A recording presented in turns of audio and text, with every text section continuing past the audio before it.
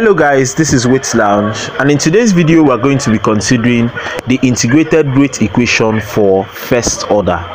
Now before we get into the study do like share and subscribe.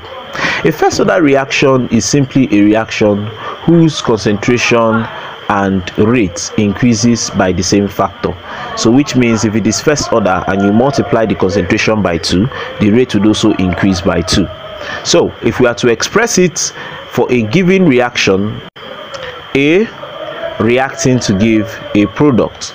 You would have that if this is said to be first order the k of 1 will be represented and the rate law expression would be given as r is equals k1 and then you have concentration of the reactant raised to power 1 so we don't need to indicate it. This is an expression of first order because the power of the concentration is 1 now having said this the very next thing i would like to do is to write out the rate formula in relation to the difference in the concentration of the reactant and that's going to be minus change in concentration of a all over change in time.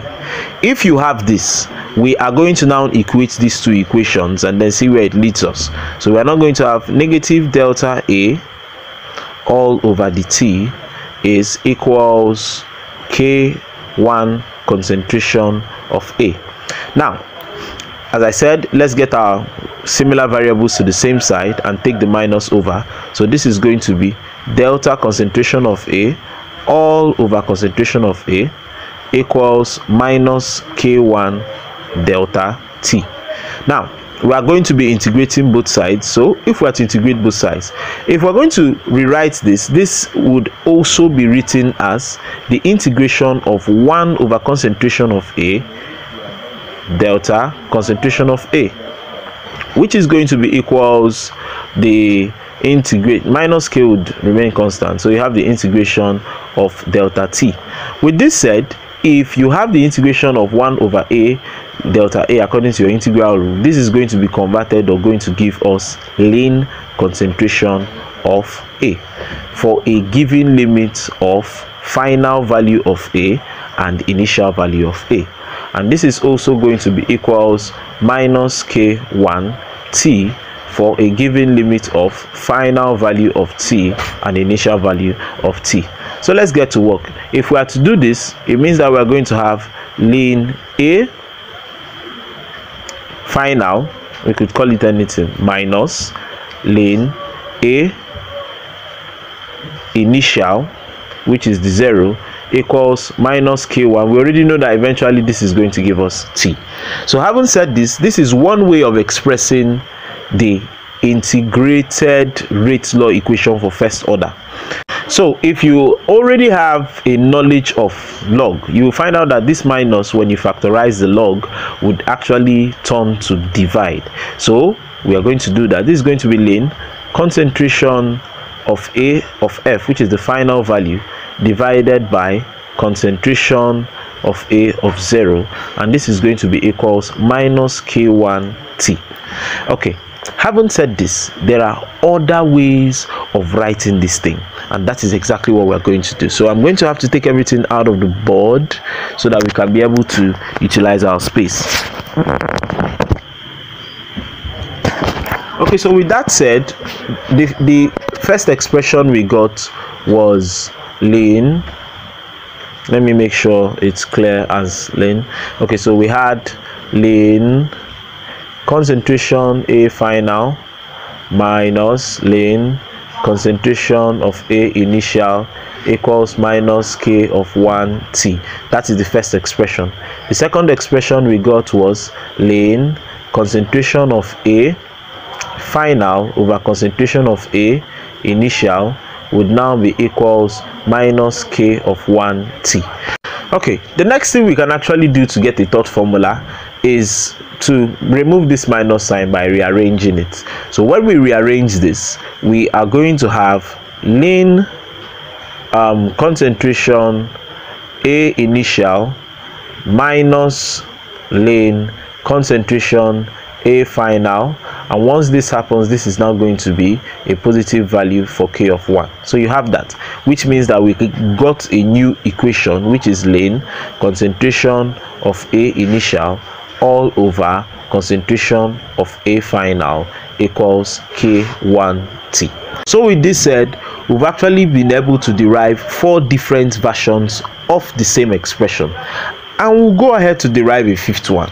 As we all know, the ln also represents natural log and natural log is simply given as 2.303 log to base 10 so if we happen to replace this we are now going to have log concentration of a of 0 all over concentration of a of final equals kt with this expression you can also get log concentration of a initial all over concentration of A final, which is the remaining concentration after the reaction occurs, equals KT all over 2.303.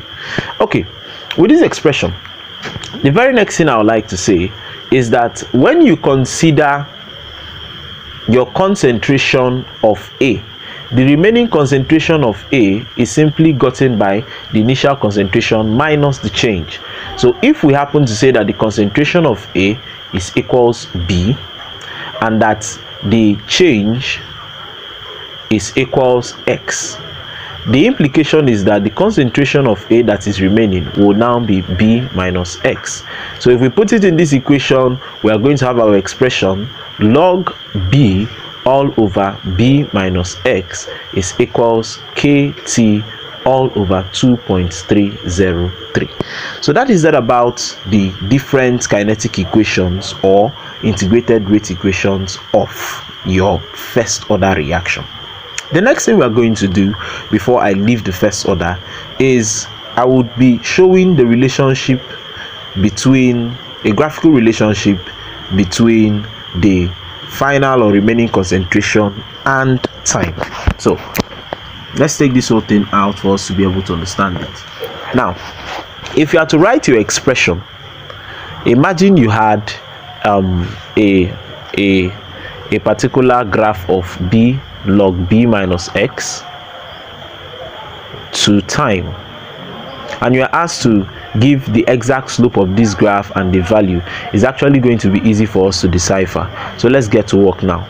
So if you have that the kinetic equation or integrated um, expression for first order is given as log b all over b minus x. We remember that this is just initial concentration and final concentration.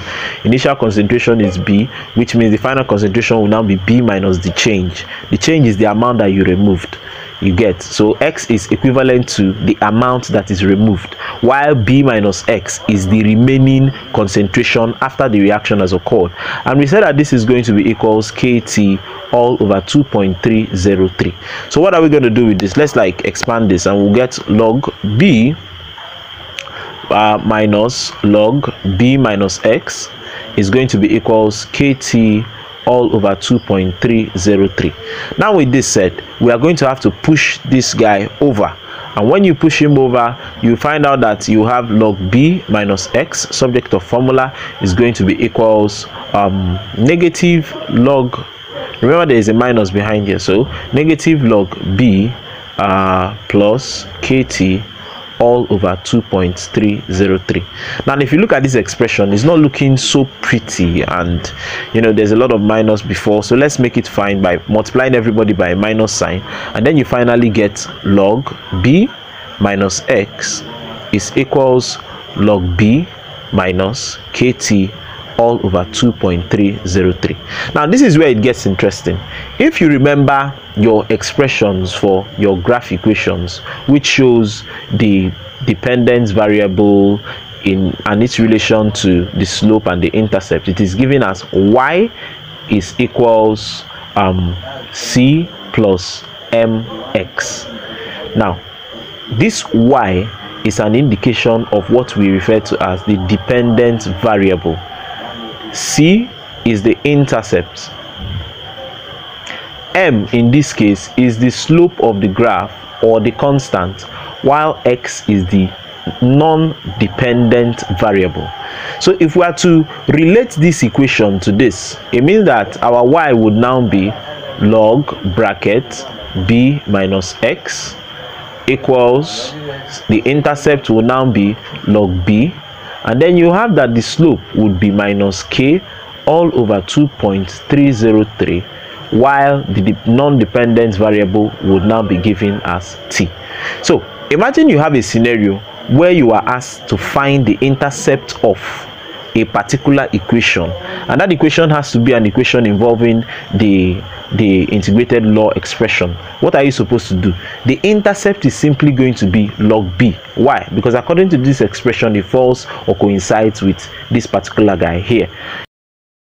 Because we have that the relationship between this log b minus x and the slope is a negative relationship. A negative relationship simply indicates an inverse proportionality.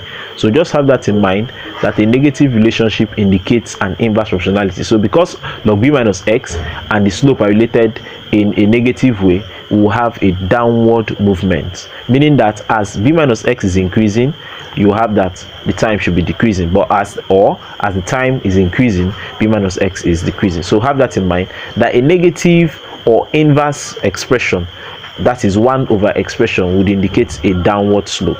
And because of that you find out that our slope of this particular graph just as we found out is going to be exactly equals minus k all over 2.303 so if you are given a question and you are not given a graph but you are asked to find the slope of a particular expression relating log b minus x to t just with this particular law you will know that the slope is exactly equal to minus k all over 2.303 i presume this video has been helpful. Thank you very much for watching